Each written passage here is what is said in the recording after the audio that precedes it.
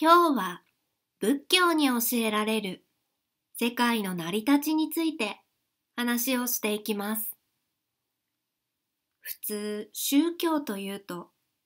天地創造の神がいてその神が世界を作ったと言います。キリスト教でもそうですし日本の神道でもイザナギとイザナミが日本の国を生んだと言います。そうでなくても私たちはもともと宇宙とか地球があってそこに生まれてきたと思っています。ですが仏教では正反対です。世界の成り立ちについて仏教ではどのように教えられているでしょうか？大秘経というお経にはこのように説かれています。お釈迦様が80歳になられて、サラ宗樹の間でお亡くなりになる時のことです。まもなくお釈迦様が涅槃に入られる時、あらゆる大地は振動して、天上界でも仏教を守護する神、梵天の宮殿は輝きを失いました。梵天というのは、インドではブラフマーとも言われて、天地を創造したとされている神です。その時、日頃からこの世界や人間は自分が作ったものだと思い込んでいた梵天も、自分の宮殿が光を失っていくのに気づきました。どうしてこんなことが起きたんだろうと大宇宙をあまねく見渡すとお釈迦様がもうすぐ涅槃に入られるために表された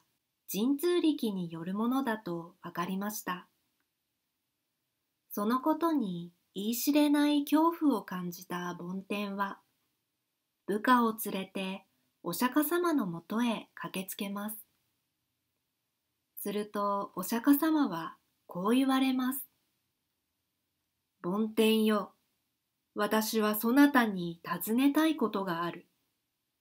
そなたは日頃から自分が人々を作り、世界を作ったと思っているであろう。仰せの通りでございます。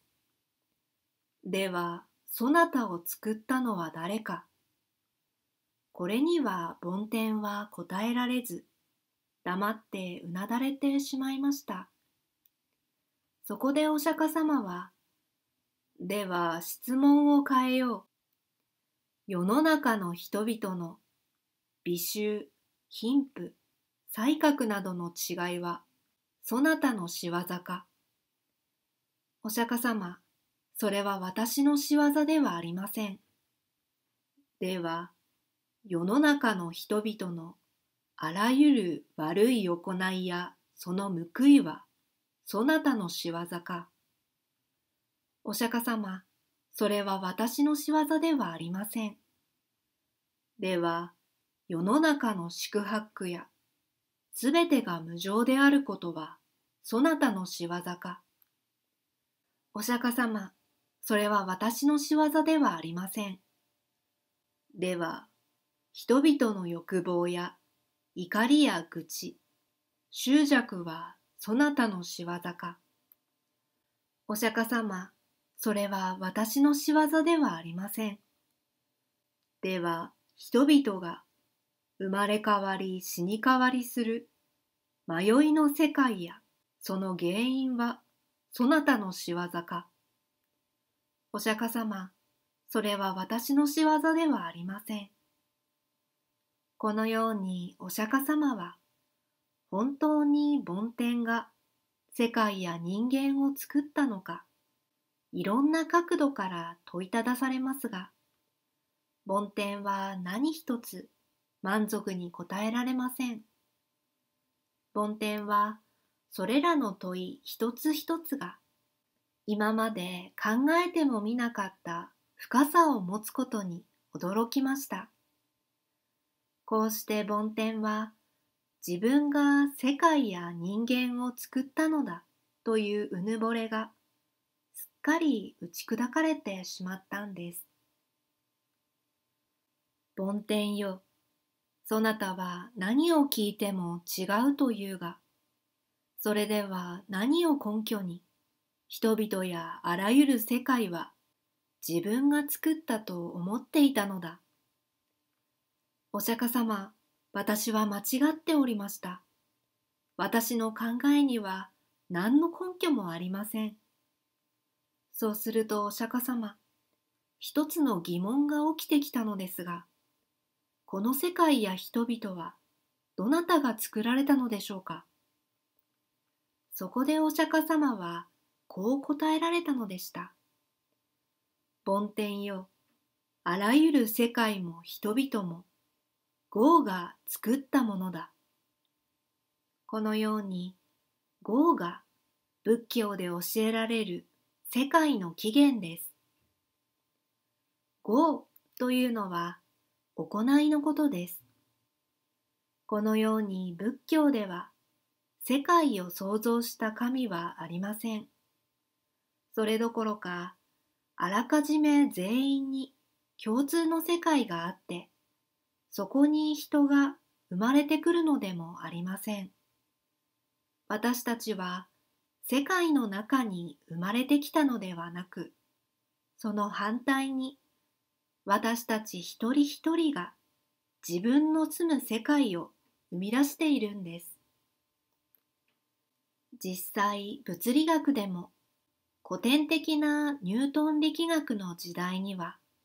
みんなに共通の世界があって、共通の時間が流れていると考えていたんですが、20世紀に入ると相対性理論によって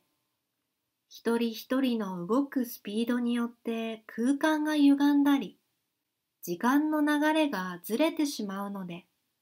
みんなに共通の宇宙というのはないことが分かっています。仏教ではさらに進んで、自分の世界は自分の行いによって生み出していると教えられています。ということは、